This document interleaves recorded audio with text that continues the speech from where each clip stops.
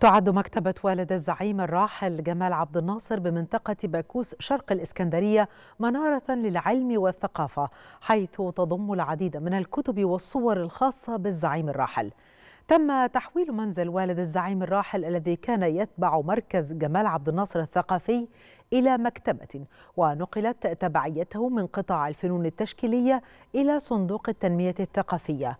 وتمت إعادة بنائه وترميمه بهدف تحويله إلى متحف لمقتنيات الزعيم جمال عبد الناصر. ولكن عدم مناسبة المكان لكونه متحفا صدر قرار بتحويله لمكتبة عامة. المركز فاتح من 2016 بنستقبل كل الجمهور وكل أنشطتنا مجانا وبنعمل حاجات للأطفال زي الرسم وورش الخط العربي وورش كتير كمان ولذوي الهمم برضو موجودين معانا أربع أيام في الأسبوع.